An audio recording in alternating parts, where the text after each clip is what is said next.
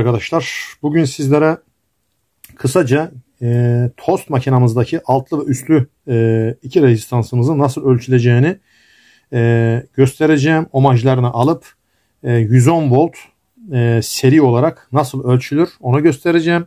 Bildiğiniz gibi tost makinalarında e, alt ve üstte iki tane rezistansımız var. Birer tane rezistansımız var. Bu rezistanslar e, 110 volt e, çalışmakta. İkisini seri bağladığımız zaman da 220 volt e, şebeke e, voltajıyla e, ikisi de beraber ikisi beraber çalışmakta seri olduğu için. E, yoksa 110 volt rezistansları tek başına 220 volta bağlamıyoruz. E, bozulacağını bilelim. E, bu şekilde şimdi size tek başına e, altta üst e, 110 volt rezistans, rezistanslarımızı tek tek ölçeceğim. E, ve seri bağlantı nasıl olduğunu gösterip ölçümünü yapıp bitireceğim arkadaşlar. E, şimdi hemen bu üstteki rezistansımız şöyle bakın. E, hemen bunu bir ölçeyim. Hazır açmışken buzzer kademesinde 210'dayım. Şöyle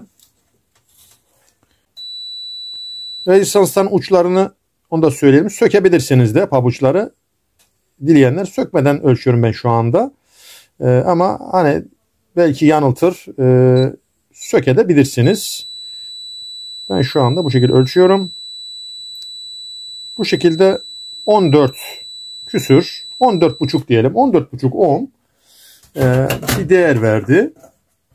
Şöyle şasesini de bakalım. Şöyle şöyle Şase herhangi bir kaçağımız var mı onu da bakalım. Bakmışken. Evet kaçağımız da yok. 14.5 ohm e, bir değer aldık. Hemen alttaki rezistansımıza bakacağım şimdi. Bakın alttaki de şu şekilde şuradan uçlarını bakın görüyorsunuz. Ee, şu şekilde Bakın biri burada, biri burada. Hemen ondan, onlardan bir şöyle omaj alalım. Şöyle. O da aynı şekilde 14.5 diyelim. E, ohm oradan aldık. Şimdi e, bir de hemen seri bağlantıyı nasıl ölçeceğiz onu gösterelim. E, 14.5 14.5 e, bir değerimiz var. Şimdi seri ölçtüğümüz zaman e, şöyle bir değer al. Bakalım 30 ohm'a yakın bir değer alabilecek miyiz? Şimdi seri ölçerken bakın 220 faz girişi diyelim. Faz olarak kabul edelim bunu. Nötrü zaten buradan gidiyor. Anahtardan dönüp e, reistansımızın şu ucuna alttaki reistansın bir ucuna bir kere bir nötrümüz gidiyor. Bunu bilelim. Nötrümüz gidiyor. Fazımız ise bakın şuradan kırmızıdan termostattan çıktıktan sonra kırmızıdan e, şuradan yukarı yukarıdaki kısma yukarıdaki reistans kısmına fazımız devam ediyor. Hiç bu reistansa girmeden sadece nötr giriyor. Faz Termostattan çıktıktan sonra direkt yukarıya devam ediyor.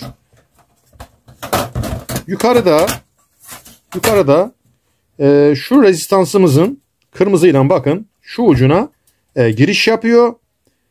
Ve başka bir kabloyla şu kahverengiyle direkt dönüş yapıp tekrar bakın buradan aşağıya iniyor.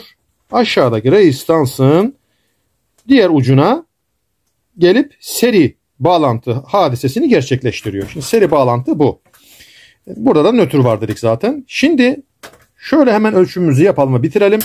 Probumun bir tanesini şöyle nötr bağlanan ilk rezistansın ilk ucuna bakın şurada e, rezistansın ilk ucu burada nötr bağlanan kısmı burada ona değdirdim ve diğer fazın gitmiş olduğu ilk e, ucumuz yukarıdaki ilk ucumuz bakın şu. O da şuydu. Şuna yani karşılıklı olmuş oluyor. Altlı üstlü karşılıklı olmuş oluyorlar. Biri bir baş, diğeri öbür baş olmuş oluyor rezistansın. Hemen ona değdiriyorum. Bakın 28 küsür. Şöyle görün sizde. Şöyle bakalım. Seri ölçüm yapıyorum. Bakın 28 29 yani 30 ohm'a yakın dedim. Bir değer almamız lazım. Bu da seri bağlantının e, ölçüm şekli. Yani demek ki seri bağlı ve rezistanslarımız sağlam. Şunu da bakalım. Yine alttaki ilk giriş rezistansımın ilk giriş nötr olan ucuna değdirdi. E, buradan başlıyoruz. bir baş bu taraf olmuş oluyor. Burası diğer başı da şu rezistansın son olmuş oluyor buradan. Bir de şöyle bakalım. Neye bakalım? Şaseye ikisinden beraber bir kaçak bakın var mı? Kendi gövdelerine bir kaçak var mı? Gibi bu şekilde de e, bir kontrol yapabilirsiniz. Seri bağlantının şekli ölçümü bu arkadaşlar. Hesabını zaten e, diğer bundan önceki videomda gösterdim. Herkese hayırlı günler diliyorum. Lütfen kanalıma abone olmayı, videoya beğeni yapmayı unutmayınız. Sağlıkla kalın. Hayırlı günler.